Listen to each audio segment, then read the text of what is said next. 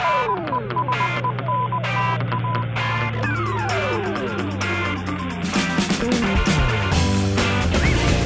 I'm Evan. We just found out our team's in the Future City competition.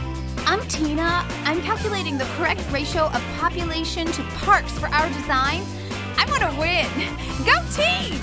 Carlos here. My specialty is skyscrapers.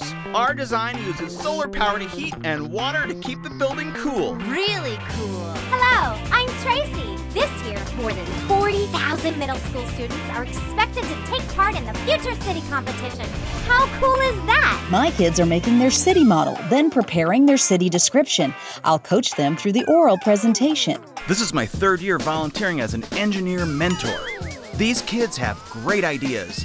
They definitely can go all the way. We created a city that really could exist in the future. We had our ideas, then we designed our future city using SimCity software. Then we built our model using recycled materials. And it can't cost more than $100. That's right! This year's theme is Waste Not, Want Not, and it's all about trash!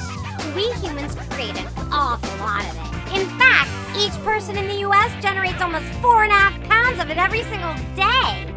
That makes solid waste management one of the most important health, safety, and environmental services a city provides for people, and also one of the biggest challenges. Right now, cities mostly get rid of trash by burning it, putting it in landfills, or shipping it off in barges and trucks. This contributes to air and water pollution and uses a lot of energy.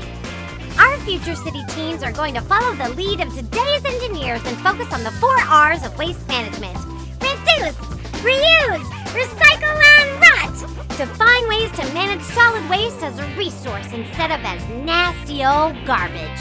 Hey, can someone please take out the trash? We were first in our region, and we're heading to Washington, D.C. for the finals. Uh, we defended why our city's design is innovative. Guess what? We won! Next stop, the grand prize an all expenses paid trip to U.S. Space Camp in Huntsville, Alabama. Cool! Evan, Tina, Carlos, Tracy! away!